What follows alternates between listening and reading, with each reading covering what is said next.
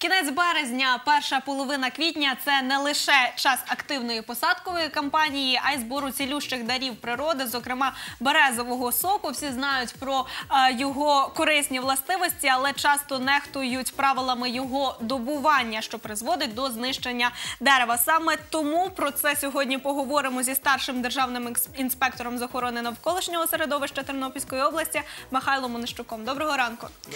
Доброго ранку, вітаємо студію. Знаєте, от е, все-таки залишається тема зараз актуальна щодо збирання так? Соку, і дуже багато людей нехтують правилами збирання, і взагалі, от вони навіть не знають, що це заборонено.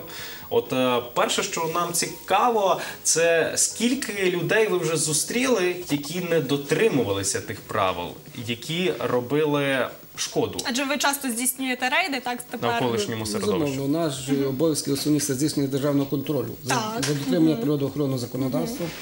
В тому числі це є стосується заготівлі березового соку. Ну, перш за все, керуючись нагодою, я хочу розказати декілька слів, що таке сам процес заготівлі березового соку. Згідно чинного законодавства, е, громадяни е, України мають вільне право перебувати в лісах. Е, Вони також мають право користуватися безкоштовно, заготовляти е, трав'яну рослинність, квітки, горіхи, Користуватися деякими ягоди, де- ресурсами, так? для власного споживання. В той же час заготівля березового соку це є спеціальне використання природного ресурсу.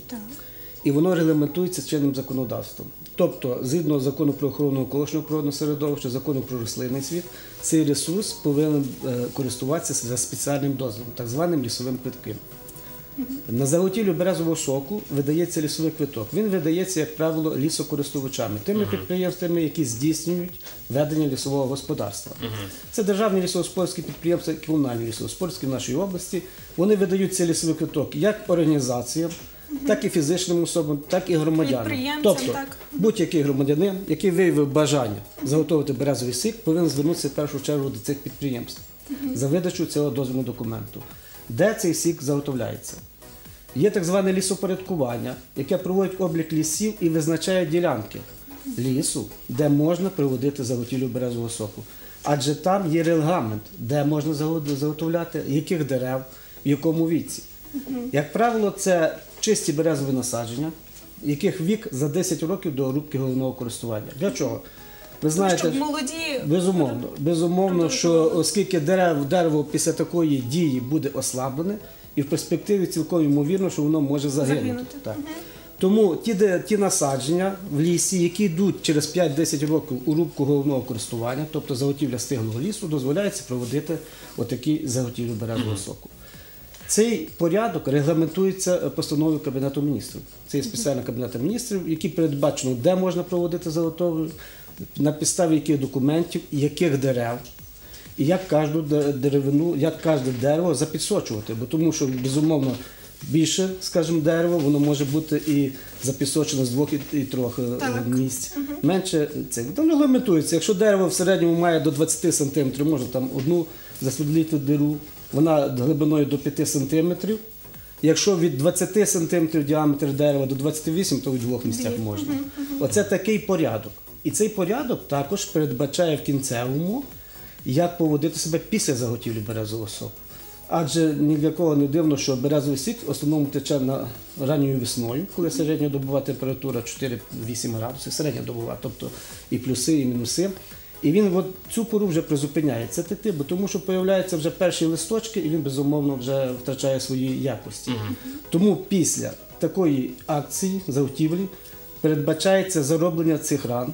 Берез, е, як правило, це або садовим варом, або глиною з вапном, щоб в ці місця не проникали хвороби і пізніше дерево не гинуло. то хто цим все таки займається? Цим повинен займатися той, хто здійснює використання цього Ага. ресурсу. Тобто ви прийшли, маєте бажання заготовити декілька кілограм, тонн чи інше до підприємства, вони виписують дозвільні документи лісові квиток, і ви проводите цю операцію. А як часто до вас звертаються за цим лісовим квитком і скільки Це він не коштує? до пана Це, Михайла. це не до нас, це не до нас, це звертається до лісокористувачів. Так. Це спеціалізовані підприємства, які ведені господарства. Але можливо ви володієте інформацією, скільки коштує, і з- за кожне дерево там потрібно давати я- Я якісь... е, в цій інформації в повній мірі не, не володію. Ну знаю приблизно, що сплачується, бо тому що це є використання лісового Так. ресурсу, а оскільки його використання потрібна якась плата, щоб була. В середньому за літр 50 копійок. Оце так е, встановлено чинним законодавством. Це сплачується і державі відповідні податки, бо тому що це підприємницька діяльність. Це не є звичайне безкоштовне заготівля. Е, То скільки все-таки є цих ділянок, де можна е, здійснювати Їх, я вам скажу чесно, я не знаю скільки, але їх є багато. Це, ця інформація більш володіють спеціалізовані лісогосподарські підприємства, які вирощують ліс і мають для цього визначені лісопорядкуванням ділянки. Хто звертається, вони це надають. Тут виникає друге питання. Це що стосується нашої роботи. Ми здійснюємо контроль, щоб не було незаконного використання. Бо тому що, як я вам вже попередньо говорив, е, дерево ж е, пошкоджене, і в майбутньому не- цілком ймовірно, що воно може загинути. Наша служба здійснює нагляд, щоб не було незаконного використання такого ресурсу. Ми в першу чергу е, звертаємо увагу на об'єкти природозаповідного фонду, на зелені насадження в межах населених пунктів. Адже ви бачили, що в парках досить часто. е, Два дні ми з вашими е, колегами їздили в парк Загребеля, тут в Тернополі, поставлено на промислову основу. Тобто місцеві жителі, які живуть недалеко, зранку приходять собі, закладають у ці банки і ввечері приходять, забирають березовий сік. Ми бачили цей сюжет е, спільно зі всіма телеглядачами нашими. Е, Там був дідуся, який е, все-таки не признався, що він зливав сік, сказав, що хотів просто попити соку. Так, я вам пояснив. Але справді ви можете взяти. Правопорушника, якщо він свердлить це дерево, так тільки у тому випадку. Якщо він зливає сік, що, що у цьому? Значить, е, безумовно, тут є сам факт порушення. Якщо він пошкодив деревину, Так. якщо він пошкодив ресурс, ми можемо його притягнути до адмінвідповідальності. Як правило, е, в даному випадку, що ви згадуєте, це територія була природозаповідного фонду. Це регіональний ландшафтний парк Загребеля. За таке порушення ми притягуємо по 91 статті Кодексу про адмінправопорушення і накладається штраф від 143 гривень до 438 гривень за таке порушення. Якщо е, ми б зловили, що він здійснював пошкодження дерева, Вже сам так, процес. сам процес, і ми встановили, що це дерево пошкоджене до ступеня припинення, не припинення росту. Тут суттєвіший вже був би штраф, і відповідно за кожне пошкоджене дерево були б нараховувалися збитки. Мгм. Зрозуміло. От е, ви згадали про те, що потрібно мати лісовий квиток, і в тому випадку вже можна десь там е, пробувати е, зливати сік, але знову ж таки за певними правилами. От тих людей, яких ви зустріли, е, скільки з них мало цей лісний квиток? Ми зустрічали на об'єктах, я вам говорив, що ми в першу чергу здійснюємо контроль за важливими об'єктами. Це об'єктами природозаповідного фонду. А на цих об'єктах по законодавству заборонено заготівляти. Тобто Тобто там будь- будь-яка чи маєш ти людина так, Чи маєш, не маєш все його одно? неможливо мати, бо неможливо. тому що по закону це об'єкти особливої цінності і на них від, е, не видається лісовий квиток. Ця діяльність заборонена. От е, саме найперше запитання, яке я вам задав, е, скількох людей ви вже зустріли, е, які порушували? Ми зустріли 4 чотирьох людей. Даному факту і той факт, що ви бачили. Безумовно, люди зараз е, люди грамотні, і вони говорять, що вони не свердлять, вони йдуть тільки збирати або, Квіти. або попити. квіти збирати. Або попити березового соку. Попити. І тому цей факт доведення дуже тяжкий. Тому в цих е, е, акціях ми за собою їдемо зразу з представниками муніципальної поліції чи патрульної поліції, щоб доказати іменно цю вину. І, але особливо часто ви дуже бачите, і вздовж доріг запісочують берези. Так. І, забере- і в е, межах населеного пункту. Тому нами здійснюються рейди і видаються приписи. Приписи це обов'язково до виконання розпорядження тим органам, які здійснюють охорону цих насаджень. В даному випадку по цьому сюжету це відділ технагляду Тернопільської міської ради. На цей об'єкт, на е, регіональний парк, йому видано охоронне зобов'язання.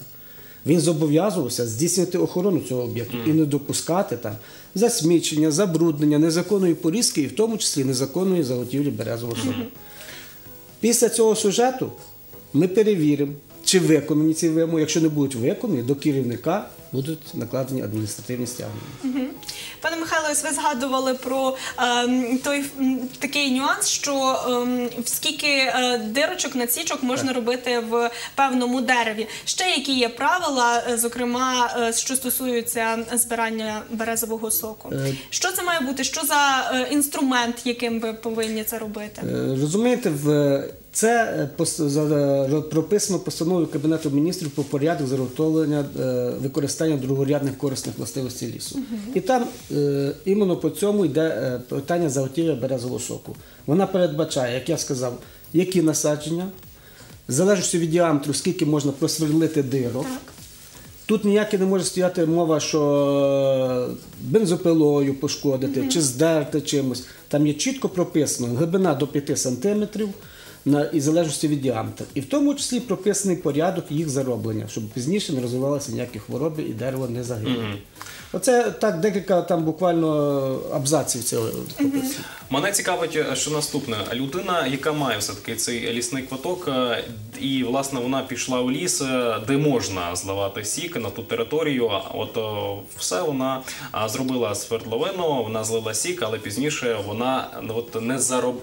От не почала заробляти так е, тою глиною, а вже коли закінчився сезон зливання. Що їй в такому випадку загрожує? Щось загрожує, чи це просто її на совість? Лісовий квиток це є дозвільний документ. Він дозволяє заготовляти якийсь ресурс. Так. І, і вказує, які правила пізніше Зобов'язання, забо- так, які накладаються на за невиконання цих зобов'язань на людину можуть бути накладені адміністративні стягнення. А тим більше, якщо його ці дії він не виконає і насадження всохне, за кожне пошкоджене дерево йому будуть нараховані збитки. Це в той же час, коли виписується лісовий квиток, що він дозволяє, він накладає якісь зобов'язання. І по цьому квитку він зобов'язаний це виконати. А що стосується приватних територій, люди можуть е, там зливати без е, якихось е, проблем, так не, не потребуючи цього лісового квитка. Наші повноваження як Державної екологічної е, інспекції на в цьому питанні на приватній території не розповсюджують. Тобто це є ваше особисте майно, і ви з ним поступаєте так, як вважаєте за потрібне. Але безумовно закликаємо дотримуватись чинних норм, тому що. Одне діло підсочувати березу молоду, а друге діло, коли вже вона в віці такому, що може витримати цю акцію. Так, хочемо ще підбити підсумки на завершення. Все-таки це ще от актуальне питання зливання соку. Люди, які можливо ще хочуть е, зливати сік, але за правилами. Що потрібно? Значить, е, піти е, найперше у відділ у підо Державне підрозділ. лісогосподарське Так, підприємство. так, так. Значить, взяти там лісний квиток. Лісовий квиток, Так, лісовий квиток, оплатити, звісно. Так, сплатити податок відповідний в державі. Так. І після чого цього, керуючись оцими правилами, будуть визначена йому ділянка, місце і кількість. Тільки одній людині або ж ну фізичній особі, або ж як правило, перша як правило ділянка. підприємства в основному мають лісогосподарські справу з консервними заводами, ті, які переробляють потім березовий сік і пускають. Люди досить, ну скажімо чесно, мало звертаються за цим лісовим квитком. Більше такі, ті, хто промислово займається. я Але загалом цей лісовий квиток його потрібно щороку оплачувати. Безумовно.